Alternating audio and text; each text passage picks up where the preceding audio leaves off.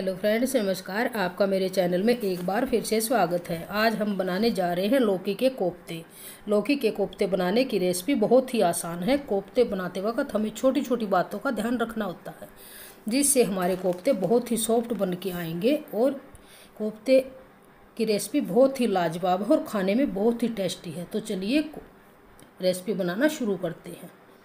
इसके लिए मैंने ये एक 500 ग्राम की लौकी ली है और ये दोनों साइड से इसको काट के फिर इसको छिलर की मदद से छील लेंगे।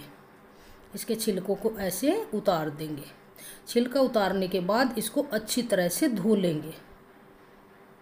अब इसको धो के दो भागों में कर लिया है। अब इसको ग्रेटर की मदद से ग्रेट कर लेंगे। जो बारीक ग्रेटर है, जहाँ से वहाँ से इसको ग्रेट करेंगे। बारीक करने से हमारे कोफ्ते का जो पेस्ट बनेगा, वो अच्छे से मिक्स हो जाएगा। जितना भी हो सके आप यहाँ इसको बारीक वाले साइज़ से ग्रेट कीजिए।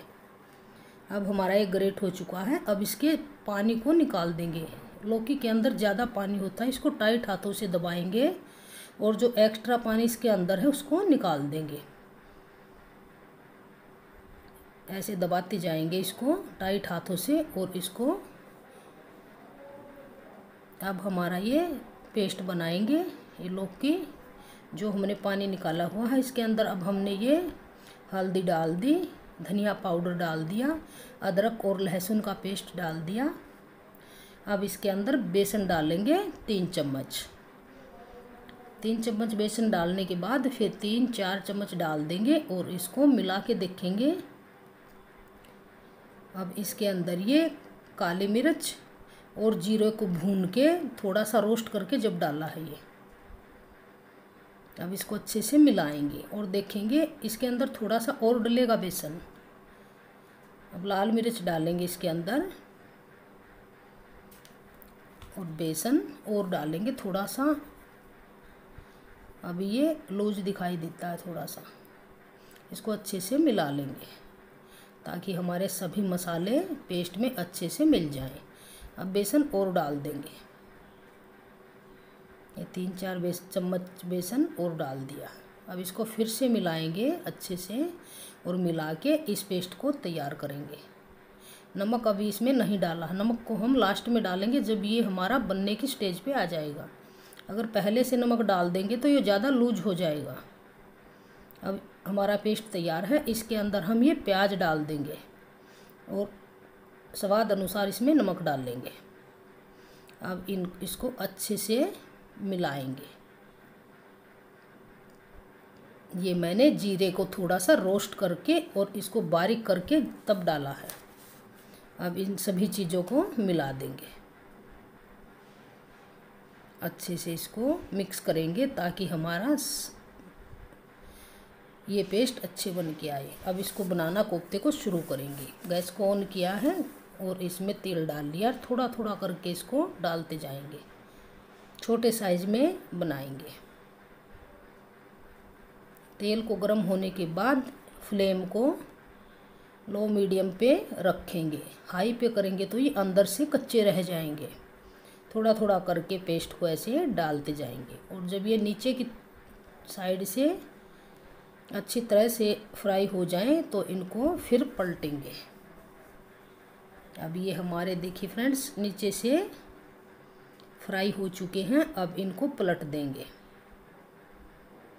ये हमारे ऐसे कोफ्ते बन जाएँगे। बहुत ही टेस्टी बन के आएँगे। आप भी एक बार इसी तरह से बना के देखिएगा। ऐसे इसको पलटिए। सभी कोफ्ते मैंने पलट दिए हैं। ये नीचे से फ्राई हो चुके हैं। लो से मीडियम फ्लेम रखेंगे तो ये अच्छे से फ्राई होके आएँगे, अंदर से कच्चे नहीं रहेंगे। इनको ऐसे पलटते जाएँगे।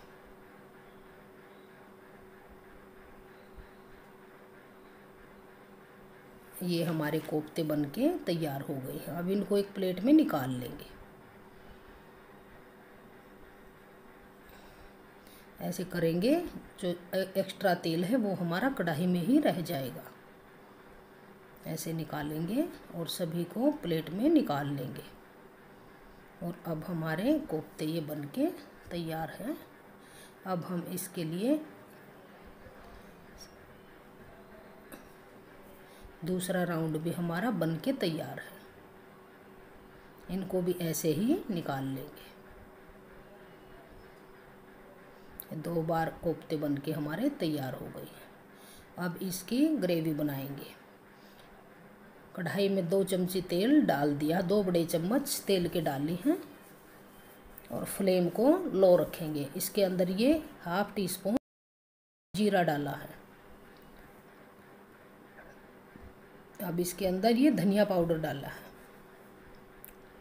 अब इसके अंदर हींग डालेंगे। गैस के फ्लेम को लो करेंगे, हाई नहीं करेंगे, नहीं तो ये हमारे मसाले एकदम जल जाएँगे। इनको अच्छे से फ्राई कर लेंगे। ये हमारे मसाले ब्राउन कलर के हो गए हैं। गैस का फ्लेम लो ही रखेंगे। इसको धीमी आँच में ऐसे ही करते जाएँगे और अब इसके अंदर एक कटा हुआ प्याज डाल देंगे। और इस प्याज को भी इसी तरह से फ्राई करेंगे। इसको हिलाते जाएँगे ऐसे। ये अदरक और लहसुन का पेस्ट डालेंगे।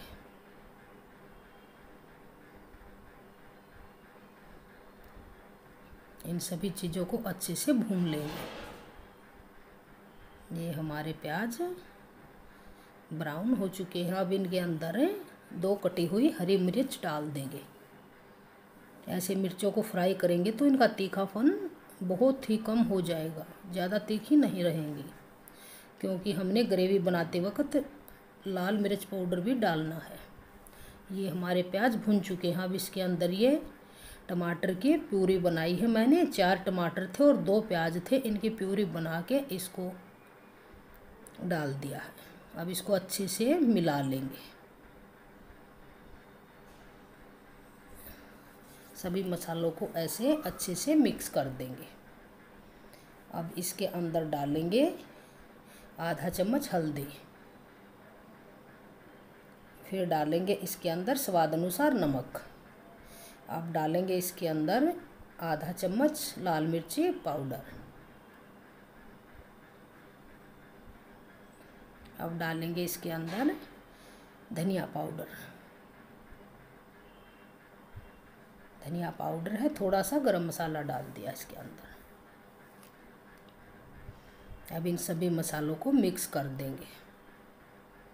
इसको अच्छे से ऐसे घुमाते जाएँगे और हमारे सभी मसाले मिक्स हो जाएँगे।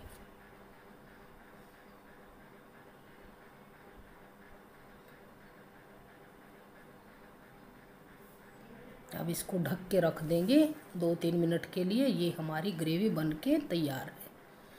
बहुत ही अच्छी खुशबू आई है और बहुत ही अच्छे से बन के आई है।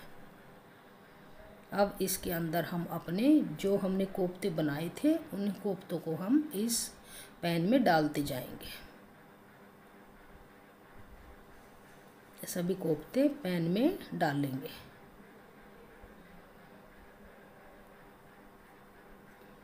अब इनको अच्छे से ऐसे मिक्स कर देंगे। सभी मसालों में मिक्स हो जाएँगे। अच्छे से ऐसे मिला देंगे। अब हमारे कोफ्ते अच्छे से मिक्स हो गए हैं।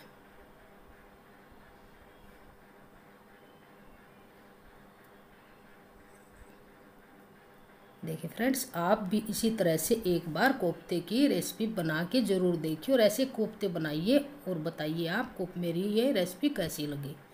अगर आपको मेरी रेसिपी पसंद आए तो प्लीज़ वीडियो को लाइक कीजिएगा, चैनल को सब्सक्राइब कीजिएगा। अब इसके अंदर हमने ये एक कप पानी डाल दिया है और इसको अच्छे से मिला देंगे। ऐसे अच्छे से मिलाने के बाद